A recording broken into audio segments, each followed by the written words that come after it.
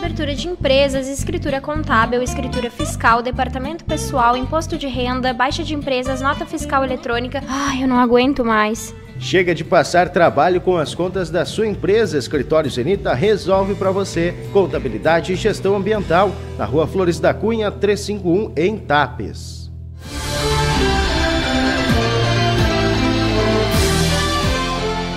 A Justiça Estadual de Tapes, em conjunto com a leiloeira oficial Joyce Ribeiro, realizará nos dias 12 e 19 de março, a partir das 10 horas da manhã, um leilão presencial e eletrônico no auditório do edifício The Winner, na rua Lauro Azambuja, no centro de Guaíba.